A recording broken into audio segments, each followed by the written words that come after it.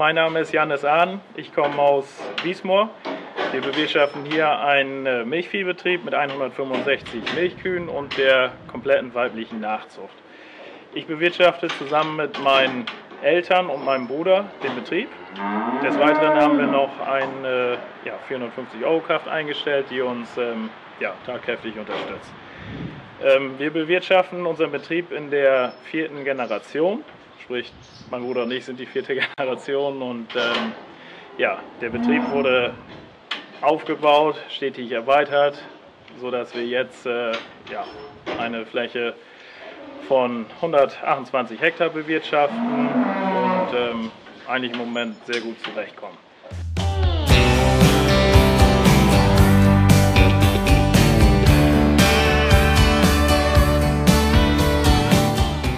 Ich habe die Landwirtschaft gelernt, weil ich äh, ja, von Kind auf an eigentlich nur draußen bin. Wir sind äh, ja, morgens nach dem Frühstück mit rausgegangen, wir haben unseren Tag draußen verbracht, haben erst für uns selber im Kleinen die Landwirtschaft durchgespielt. Dann kommen wir bei, äh, ja, bei meinen Eltern, Vater dann auch ähm, auf dem Schlepper mitfahren, durften selber unsere Sachen machen, sind damit groß geworden und wir haben es einfach geliebt, draußen in der Natur zu arbeiten. Mit äh, Mensch und Tier zusammen sind wir groß geworden und äh, das ist auch das, was ich an, an meinem Beruf Landwirt so ja, sehr zu schätzen weiß und auch liebe. Wir haben äh, eigentlich viele Möglichkeiten, unseren Tag selber zu gestalten. Wir sind natürlich an unsere Melkzeiten gebunden, die morgens und abends stattfinden müssen, aber wir können uns unseren Tag flexibel einteilen. Wir haben die Abwechslung tagtäglich ja, bei uns vor der eigenen Haustür.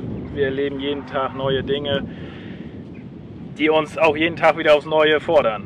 Natürlich ist äh, ja, die Landwirtschaft ein auch herausfordernder Beruf, aber als Familienbetrieb sehe ich uns ähm, ja, dem sehr gut gewappnet, dass wir ja, alle Arbeiten oder alle Hürden auch des Alltags ähm, gemeinsam schaffen.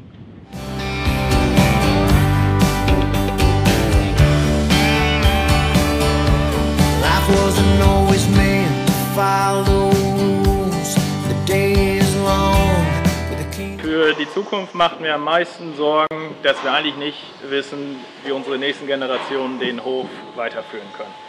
Wir geben Tag für Tag unser Bestes, das auch am Wochenende, um die Tiere zu versorgen. Denn letztendlich haben wir nur etwas von den Tieren, wenn wir auch mit den Tieren gut umgehen, sie wertschätzen und ähm, gut pflegen.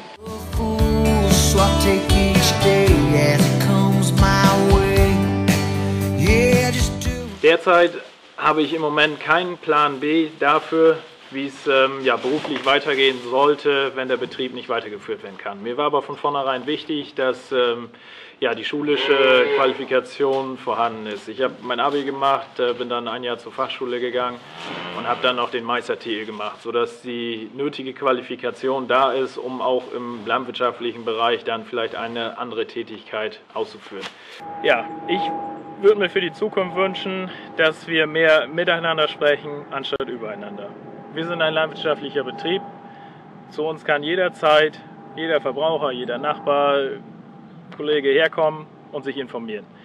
Wir haben auf unserem Betrieb nichts zu verbergen.